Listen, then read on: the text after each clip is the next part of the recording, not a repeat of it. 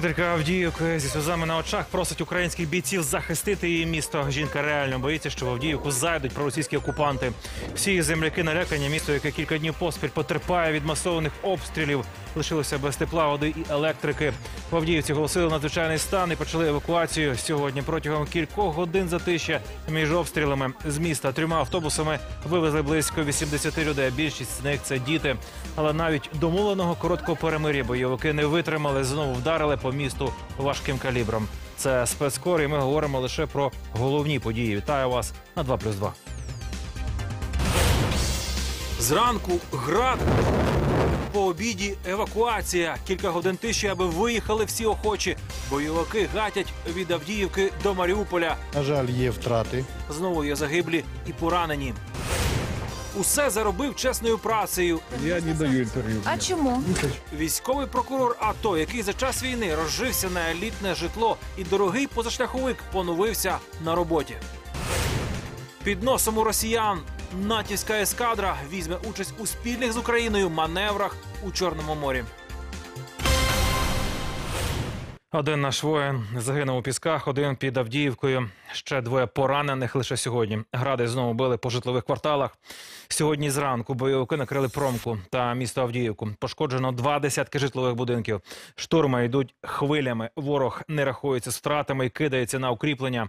Наша розвідка доповідає про чотири десятки тіл російських кадровиків у моргах Донецька. Бої точаться на коротких дистанціях. Тільки сьогодні вдалося на кілька годин добитися тиші для евакуації городян з та ремонту електроопор, газу і водопроводів. Але вже по обіді бойовики накинулися на околиці Авдіївки з подвоєним завзяттям. Відео, де гради шквальним залповим вогнем обстрілюють Авдіївку, знімають мешканці Донецька з вікон власних домівок. Третий раз подрываемся за ночь уже от такого. Завдяки одному з таких роликів волонтери зуміли встановити, звідки ведеться вогонь з градів. Одну з вогневих точок російські військові обладнали буквально поруч із житловими будинками Донецька. Ось тут на карті вона позначена червоним значком. Це Будьоновський район Донецька, східна околиця міста. За 450 метрів звідти дитячий садок Козачок. А от напрямок, куди ведуть стрільбу російські гради – південно-східна частина Авдіївки. Стріляти сюди у відповідь українські військові не можуть. Великий ризик поцілити у житлові будинки Донецька. Проте і своїх позицій не віддають. Відбили чергові спроби штурму. Реально було сьогодні дві спроби атакувати наші позиції, але наші хлопці з утримали ці позиції. Е, на жаль, є втрати, але на сьогоднішній день хлопці тримаються, ситуація нормалізується. Запеклі бої поблизу Авдіївки не вщухають четверту добу. Російсько-терористичні війська гатять з градів, використовують артилерію та гранатомети. Прилітає і в житлову забудову, і на Авдіївський коксохімічний завод. Місті повно величезних воронок від снарядів. Мешканці налякані. У мережі з'явилось зворушливе відео, зняте на одному з пунктів обігріву. Жінка благає українських військових не залишати Авдіївку.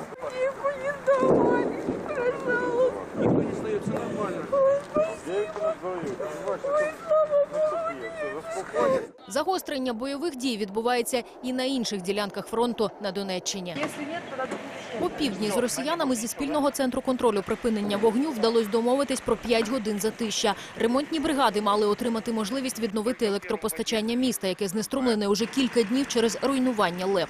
Проте навіть цю коротку тишу бойовики уже порушили. Вони почали хаотичну стрілянину по ремонтниках. Електромонтажники 300 метрів не дійшли до місця аварії, були змушені залягти, рятуючись від стрільби. Повідомив керівник Донецької адміністрації Павло Жебрівський. Марія Васильєва, спецкор 2+,2. В районі промислової зони Авдіївки, попри письмові запевнення російських представників у спільному координаційному центрі, тиші майже не було. Така інформація від керівництва бригади, яка контролює цю ділянку фронту. Бойовики з обіду крили промку з усіх калібрів. Під обстріл потрапили електрики, які намагалися відновити повалені стовпи та порвані дроти. Кількагодинним затищем активно скористалися бойовики до переднього краю. Вони підтягнули резерви та техніку. Керують операції кадрові офіцери російської армії, але самі вони завбачливо залишаються у тилу. Під українські кулі підставляють лише місцеве так зване ополчення та найманців з Росії. Про це журналісту спецкора розповів полонений нашими військовими бойовик. Ну, мы сидели в блиндаже, укрылись втроем там. Ну, сидели, просто пережидали обстрел. Вроде обстрел закончился. Мы собирались уже выходить. Ну, тут уже вот нам говорят, хлопцы, выходите. Сьогодні під Авдіївкою загинув командир 9-ї роти 3-го батальйону 72-ї бригади Леонід Дергач. Близько 7 години ранку позицію його підрозділу противник обстріляв із градів. Лейтенант дістав осколкові поранення, несумісні з життям. 37-річний військовий мав позивний академік. Він був викладачем юридичного факультету Чернівецького національного університету. Кандидат наук був мобілізований у 72-гу бригаду під час четвертої хвилі. Згодом полишив викладацьку діяльність і заради контрактної служби в АТО. Тривалий час навчав молодих бійців, потім став командиром роти. У Чернівцях оголошено жалобу за земляком, а командування 72-ї бригади готує подання на присвоєння Леоніду Деркачу звання Героя України посмертно. У Дніпрі медики у повній готовності чекають на прибуття поранених з Авдіївки. Щоб звільнити місця у лікарнях, частину стабілізованих бійців сьогодні відправили до одеського шпиталю. Тим часом триває боротьба за життя військових, що зазнали вкрай складних поранень напередодні. В обласній лікарні Мечникова провели шість складних операцій. Найдовше тривало понад 5 годин. У найтяжчому стані 21-річний Ігор. Снайпер влучив йому у груди на світлодарській дузі. Куля пробила легеню, діафрагму та спинномозковий канал. Медики борються за життя бійця, але визнають, шансів повернути рухливість ногам вкрай мало. Водночас лікарям вдалося вибороти життя 32-річного Андрія. Він дістав мінно-вибухове поранення біля Авдіївки. У нього зрешечені рука, нога, живіт і груди. Та від смертельного ураження осколком його врятував жетон із написом «Двічі не помирають». Міна упала, прям, прям під ноги упала. Нас розкидали просто в різні сторони. Так осколок попал, я на жетон, осколок зашел в шею. И сегодня целую ночь и хирурги, и травматологи делали все возможное, чтобы стабилизировать его состояние, сшить руку, хотя пальцем наверняка на сегодняшний день по прогнозам потеряет. Но удалось сделать все возможное для того, чтобы он на сегодняшний день смог утром проснуться и говорить. Шестеро поранених мирних жителів за день боїв в Авдіївці. Ще одне тіло жінки, посічене осколками, знайшли рятувальники сьогодні. У багатоповерхівки пустили воду. Щоправда, тиску вистачає, аби підняти її лише до четвертого поверху. Газопостачання у будинках також відновили. Утім, є проблеми із теплом. Температура в приміщеннях менше 15 градусів. Уранці в Авдіївці почалася евакуація. Насамперед вивозять дітей до Святогірська. Однак поки що з 16-тисячного міста виїхати виявили бажання лише дві сотні жителів. Маємо на зв'язку Євгена Назарика. Е, Женю, вітаю. Скажи, будь ласка, хто власне виїхав першою хвилею? Яка ситуація зараз у місті? Тобі слова? А, привіт, Руслане. Ну, насправді сьогодні Павло Жибрівський повідомив, що нарешті домоглися е, до- домовленості з російською стороною із ЦКК російської сторони про припинення вогню до 5 години вечора сьогоднішньої доби. І тому ремонтні бригади намагалися поїхали від на об'єкт відновити електрику до Авдіївки. Прошу пряму мову. Готовы вести одновременно в трех местах работы по высоковольтным линиям, поэтому я надеюсь, что если ничего не случится о том, о чем я говорил, вот того негативного, не возобновятся боевые действия, мы продолжим работу под контролем ОБСЕ и, по, по сути, под их прикрытием, говорю откровенно, то мы закончим это завтра, я думаю, так.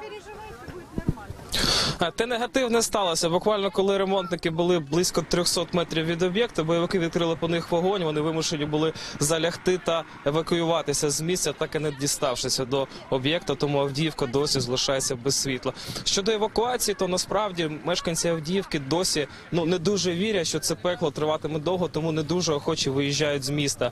Наразі на евакуацію погодилося близько 200 людей. Більшість з них це діти, які виїжджають до міста Святогірськ е, у супроводі своїх батьків або опікунів. Та також е, спромоглися вивезти 20 людей похилого віку з будинку літньої людини.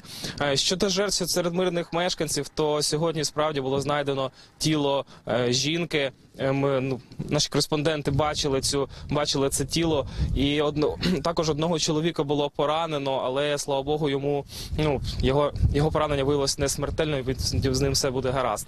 Е, Щодо ситуації в Авдіївці, то е, наразі Коксахім працює на найнижчих найнижчих поту найнижчих потужностях. Тепло в оселях близько 10-15 градусів. А на вулиці зараз ну насправді дуже холодно. І така ситуація, і якщо будуть тривати тривати бої, то це може закінчитися справді екологічною катастрофою. Прошу пряму мову. Водопостачання мешканців міста на цей час здійснюється по графіку два рази на добу за рахунок створених резервів. І організоване підвезення населенню питної води шістьма спеціальними автомобілями, чотирма автоцистернами, які е, передбачені для підвезення технічної води. Е, Щодо подальшої ситуації з дітьми, які мають ходити в школу, то наразі планується підвести генератори, які будуть підведені до однієї школи. Діти зможуть продовжити навчання. Е, Хочу ще зазначити, що тільки що до нас надійшла інформація від бійців, які боронять е, позиції під Горлівкою, саме в районі Майорського. То зараз там почався масований арт-обстріл бойовиків. Криють просто всіма калібрами, і хлопці навіть не можуть підняти голови. Тому як кажуть, то не тільки в Авдіївці зараз в Авдіївці зараз війна. Студія. Дякую, Женя. Євген Назаренко про евакуацію з Авдіївки. Першими виїхали з міста діти. Режим перемир'я протримався лише кілька годин. У різних областях України люди і далі збирають гуманітарну допомогу жителям Авдіївки. Житомирщина готова прийняти на оздоровлення чотири десятки дітей з обстріляного міста. А вже завтра туди направить мобільну міні-котельню для обігріву школи чи дитсадка. У Дніпрі сотні людей принесли у пункти збору для авдіївчан теплі речі, ковдру, воду та тушкованку. Фури із п'ятьма тонами питної води та з продуктами і одягом уже прямують до Авдіївки. Пізно ввечері Дніпро готується доправити на Донеччину ще дві вантажівки з харчами. Собрали самое необходимое. Мы везем крупы, мы везем э, мясо, продукты, конечно же, одеяло, конечно же, теплые вещи. Принес каждый, что мог. Приймати поранених дітей з Авдіївки екстрено готується обласна дитяча лікарня Дніпра. На випадок масового надходження хворих звільняють ліжка. Спочатку АТО через шпиталь пройшли сотні малюків з Донбасу. Зараз на лікуванні тут восьмеро пацієнтів з Авдіївки, Світлодарська та Артемівська. Усі з важкими хворобами, які нікому було лікувати вдома під обстрілами, бо вузькопрофільних медиків майже не залишилося. Твои дела? Как ты себя чувствуешь? У Дніпрі Мілена п'ятий день приїхала зі Світлодарська. Змучена щоденними крапельницями, ледь розмовляє. Коли згадує дім, в очах сльози. Попахивает почти каждый день. Когда резко попахивает, тогда я прячусь в коридор. У дівчинки запалення ниру. Коли настало загострення, її перевезли до Дніпра. Медики кажуть, вчасно. У Світлодарську лікувати дитину вже нікому. Не те, що нефрологи, педіатри повиїжджали. Уезжали, да, от обстрела. Лор врача у нас так и нет, окулиста, я сама медсестра окулиста, еще тоже не приехала. Нефролог, вот таких у нас совсем узких специализаций нет. Максима з Авдіївки військовики встигли вивезти ще до обстрілів. У перший же день у Дніпрі хлопця прооперували. У нього була задавнена грижа. Почему до сих пор ребенок был не пролеченный, нам трудно сказать. Сейчас все нормально, да, можно уже сказать, что забыть об, об этой патологии. Про те, що рідна Авдіївка тоне у ворожих обстрілах, хлопець дізнався з телевізора. Тепер міркує, коли зможе повернутись. Ну, что бухают, это, это я уже с этим свыкся, оно мне не страшно. А что мины? Два мальчика пошли в лес, взорвались. З інтернату під Бахмутом важкохворого Олексійка вивозив цей військовий. Тепер з цукерками та подарунками провідує малого у відділенні урології. Вони вітаються, наче батько і син, хоча познайомились кілька днів тому. Я очень, очень чітко запомнил, когда Леша делился мною. мной одним печеньем. У него была одна печенюшка, он делился со мной. Борис, офіцер командування «Схід», разом з побратимами вивозить у Дніпро з-під обстрілів та сірої зони хворих дітей. Незабаром військовик буде в Авдіївці. Знову забиратиме маленьких пацієнтів. В городе пожары, есть раненые. Выявляются те, кому нужна помощь в первую очередь. Приоритет – дети. Після подій у Авдіївці дніпровські медики на поготові. В обласній дитячій лікарні про всяк випадок уже підготували усі відділення. Мы готовы принять любого. Это, это не обсуждается вообще. Это, это помощь, которая осуществляется круглосуточно. За потреби лікарі та медсестри будуть працювати цілодобово. Наталя Грищенко, Влад Комишин, Дніпро, спецкор 2+,2. Навколішки перед героями прощали сьогодні на майдані з загиблими бійцями 72-ї бригади. Усі семеро загинули у бою, боронячи Авдіївську промзону. Чотири доби там не припиняються бойові дії. Ворог просто засипає промку важкими снарядами і щораз намагається штурмувати наші позиції. Під час відбиття однієї з таких атак і загинули хлопці зі зброєю в руках.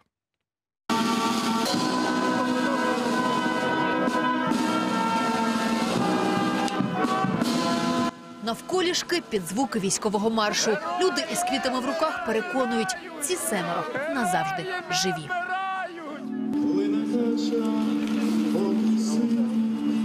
До полеглих захисників Авдіївки вишиковуються черги. Українці намагаються буде квітами висловити вдячність. У жалобному натовпі герой України Ігор Гордійчук. Також і військові, ті, хто вже відслужив, і ті, хто досі у формі. Прийшов як до своїх братів, до, ну, до рідні вже своєї. Це обов'язок кожного військового, хто там був. Тамара Степанівна сама втратила сина Андрія. Загинув під Хрещуватим. З нею завжди його фотокартки. І хоча на Майдані щільно, жінка переконана, цього замало. Почему сюда никто не пришел с Министерства обороны? Никто. Понимаете, пришли люди сюда, у которых болит, и те, кто не безразличны. Понимаете, смотрите, проехало сколько машин, никто даже не посигналил. В останню путь провели Олега Бруця із п'ятихаток. Йому, як і загиблому в ці дні уродженцю Черкащини, Віталію Шамраю, було всього 26. Найстарший із загиблих – сержант Володимир Крижанський з села Горобіївка. До війни два роки пропрацював у військкоматі. Віктор – його вчитель фізкультури. Викладач сільської школи нині ховає вже другого свого випускника. Він віддав своє життя за те, щоб я думаю, щоб і ви, і ми жили у мирі. Світлі блакитні очі завжди усміхнений. Країна прощається із тим, кого називали майбутнім української армії. Капітан Андрій Кизило у свої 23 встиг пройти два роки війни і вирости до посади заступника командира батальйону. Він дуже хотів бути військовим ще з дитинства. У нас дідусь військовий, він теж тут дядя Саша військовий, і Андрюша хотів бути військовим. Його відмовляли, він дуже хотів. Він старався, він всі нормативи здавав. Не повернувся зі свого другого походу на війну Ярослав Павлюк. Полишив роботу ветеринарного лікаря і пішов добровольцем. Колеги кажуть, у своєму виборі він був щасливим. Ми з ним буквально в п'ятницю розмовляли. Я кажу, ну як ти все нормально? Він каже, я на своєму місці. Я тут щасливий. Прощається країна із Дмитром Оверченком. За п'ять днів до загибелі молодий солдат відсвяткував свій 25-й день народження. Служив сапером, захоплювався грою в шахи. Це останні кадри на фронті, опубліковані в ЗМІ. Сложна ситуація напереді, то ми, типа, як резерв, видвигаємося і їм допомагаємо. Молодшому сержанту Володимиру Бальченку на початку місяця виповнилось 25. Вдома лишилась мама, брат і сестра. Їх поховають завтра. У родичів є доба, аби попрощатися зі своїми воїнами. Йому дівчата квіти ложили, а не він. Він їм повинен дарувати. Євгенія Цвітанська, Наталя Нагорна, Наталя Слободян, Андрій Марченко, Ігор Ткач. Спецкор 2+,2. А у Миколаєві сьогодні побратими прощалися із Романом Гульченком в його рідній 79-й бригаді. Командир взводу загинув від мінометного снаряда 30 січня біля Водяного. Сержант Роман Гульченко записався на контракт до армії. Щойно почалася війна. Захищав Донецький аеропорт під Дебальцевим. Його взвод виконав успішну операцію із захоплення в полон бойовиків. Там Роман зазнав поранення, нагороджений орденом за мужність третього ступеня. Він завжди йшов на найскладніші завдання, кажуть побратими. Цього разу його взвод утримав ділянку фронту, аби ворог не прорвався біля водяного на Донеччині. Мінометний снаряд влучив просто в них. Романові було всього 30 років. Сиротою залишилась п'ятирічна донечка. Поховають героя на Одещині. Снаряд розірвався в цей час, 30 січня, разом рядом з ним, поранивши ще декількох наших військовослужбовців. Для нас це була велика трагедія, тому що всі знали Рому. Хороший человек, много знал, м, многих научил. Военному делу объяснял, рассказывал, как действовать, что делать. Дотримуватись мінських угод і захищати цивільне населення вимагає захід. В парламентській асамблеї Ради Європи висловили глибоке занепокоєння через ескалацію насильства навколо Авдіївки і закликали проросійських сепаратистів негайно припинити обстріл мирних районів. Загострення на українському сході у центрі уваги і по інший бік океану. Американські правозахисні організації вимагають захистити цивільне населення Авдіївки. А державний департамент випустив спеціальну заяву щодо боїв у місті. Рада безпеки ООН, де від сьогодні голови України провела з цього приводу закрите засідання. Члени Радбезу висловили цілковиту підтримку суверенітету та територіальній цілісності України і наголосили на суворому виконанні резолюції, яка підтримує пакет дій для повної імплементації мінських угод. Три доби зригалася земля під Маріуполем. Гатили з усього, що було. Бойовики застосовували від 152 калібру до БМ-21 град. Гуркіт розривів снарядів було добре чути у самому місці. Сьогодні перший день, коли проросійські найманці знизили активність, але без стрілецьких сутичок не минулося. З під Маріуполя повернувся Яків Носков. Морські піхотинці оглядають власні позиції. Протягом усієї ночі по них гатили з усіх видів забороненої зброї. Мінські домовленості тут виконує лише українська армія. Ну, під час обстрілу бліндаж трошки ходив, балки підскакували, земля, кажуть, на голову сипалася. Ну і що, ми вистоїмо. Лом показує свій бліндаж. Укриття витримало, хоча 122-гі снаряди засипали усе навколо. Морські піхотинці кажуть, терористи гатять з коментарнового, куди напередодні росіяни перекинули безліч важкої артилерії. Прибув новий гумконвой, і після цього зразу активізувалися е, дії сепаратистів е, з важкого озброєння, е, мінометів і ствольної артилерії калібру 152-122 мм. Спочатку стрілкотня, стрілецька зброя, а тоді починають вже більш артилерія, там, ствольна, може бути. Ем, Після того ну, прикриваюся, і там відходи приходять людей. Тактику бойовиків українські військові вже вивчили. За минулу добу наші позиції тут накривали у районі Водяного, Чермалика та Лебединського. Одночасно росіяни запустили фейк, нібито так звані ополченці почали стріляти тільки коли наші бійці підступно захопили пікузи, колишнє коментарнове, що суперечить мінським домовленостям. Ми вирішили перевірити, наскільки це відповідає дійсності. Оце пряма дорога на Коминтернове. Далі наших опорників вже немає. Попри постійні обстріли, наші хлопці стійко тримаються на своїх позиціях. Українські морські піхотинці, як власне і інші сили та засоби, які задіяні у проведенні антитерористичної операції, не змінювали лінію оборони ані вчора, ані сьогодні. І не тривають бої за населений пункт Пікузи. Тривають з боку, в тому числі і цього населеного пункту, масовані, інтенсивні, прицільні і практично цілодобові обстріли військ, які задіяні у проведенні антитерористичної операції. Морські піхотинці підсилюють оборону та проводять ротацію. Від обстрілів з боку Коминтернового потерпають усі, але стоять. Ворог інтенсивно почав використовувати як самохідні артилерійські установки, так е, почали застосовувати реактивні, реактивні системи залпового вогню БМ-21 «Град», в тому числі і в райони населених пунктів, таких як Талаківка та Сартана. Попри шалені обстріли, морська піхота тримається. Своїх позицій тут не здають, але й уперед. На Коминтернове, звідки працюють терористи, не просуваються. Чекають єдиного. Був би наказ, зайшли б. Яків Носков, Андрій Хуповка, спразов'я Спецкор 2+,2. Український літак Ан-26 обстріляли з захоплених Росією бурових вишок у Чорному морі. Факт обстрілу підтвердили кореспондентам спецкору в штабі військово-морських сил. Фото простреленого корпусу виклав у соцмережі міністр оборони України Степан Полторак. Екіпаж літака виконував тренувальний політ і зафіксував в активному режимі роботу радіолокаційної станції Російської Федерації, що зазвичай використовується для наведення ракет систем протиповітряної оборони.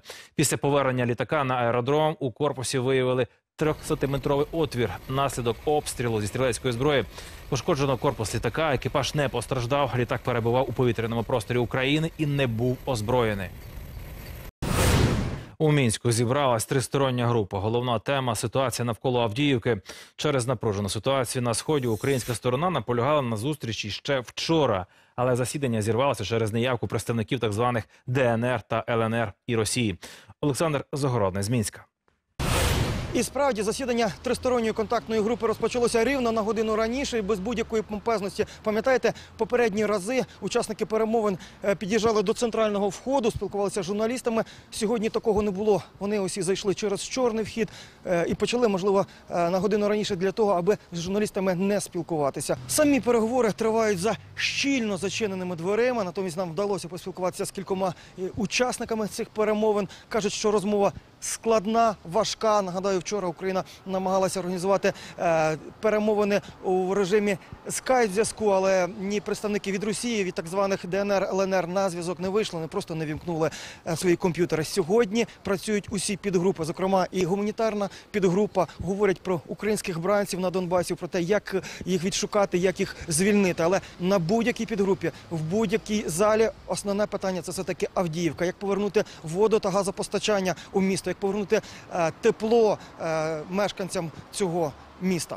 Ну і на сам кінець хочу сказати, що з українських журналістів тут у мінську ми фактично єдині. Були була ще група із е, громадського ТБ Донбасу, але Віталія Сизова, журналіста, цієї ночі затримали у місцевому готелі. Місцева міліція заламали руки, привели у відділок, і там вже йому повідомили, що він небажана особа на території Росії, оскільки Росія та Білорусь це е, дружні країни. Тому його ось таким чином попросили негайно залишити територію Білорусі. Ось такі новини у нас із Мінська. Олександр Загородний, Сергій Азаренко, спецкор 2+,2.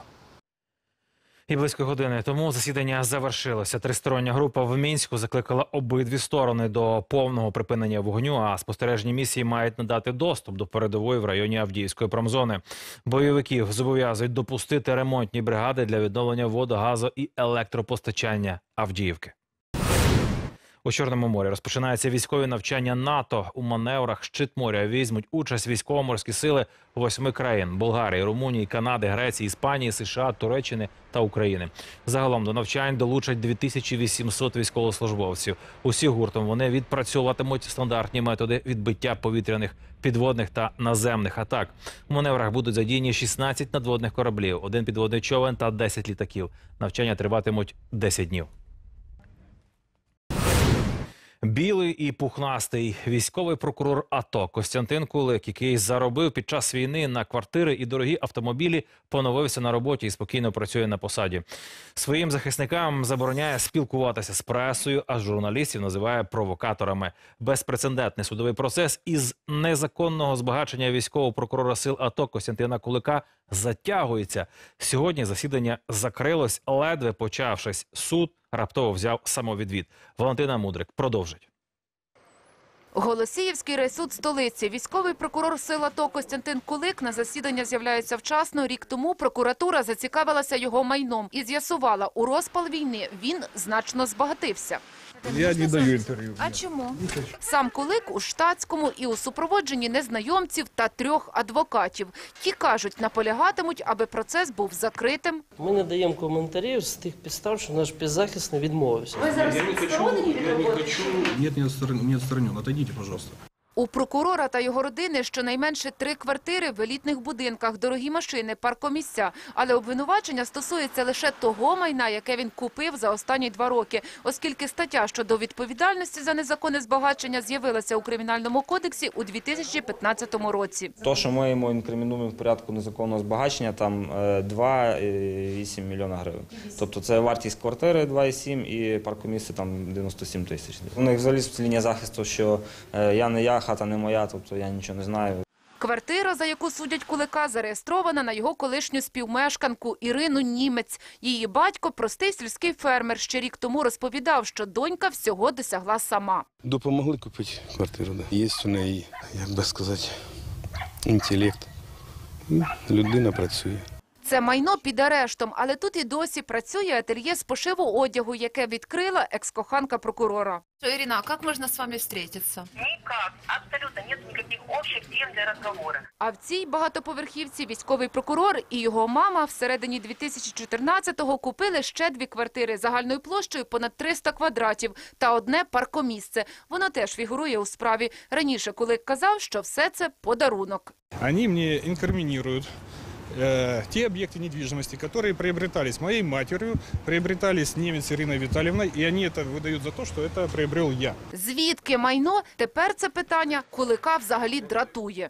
Вы занимаетесь тоді не хочете провокацией. Вот эти пояснити два свою канала позицію? занимаются провокацией. Вам я комментарии отказываюсь давать. А в чому провокація? В чому- Коли в чому ми ставимо вам провокація? запитання, це В чому, в чому Сторона обвинувачення справу прокурора передала у суд ще восени. Втім, перше засідання закривають, щойно відкривши. Виявляється, комп'ютер обрав колегію суддів, які не можуть кулика судити. У них не вистачає п'ятилітнього стажу. Тепер мають визначити новий склад суду. Коли поновиться процес, прокурори і захисники кулика прогнозів не дають, лише припускають, суд буде тривалим і може затягнутися на рік. Валентина Мудрик, Вадим Верба, спецкор 2+,2. Дякую, що були з нами, і дякуємо за довіру. Бережіть себе і до зустрічі.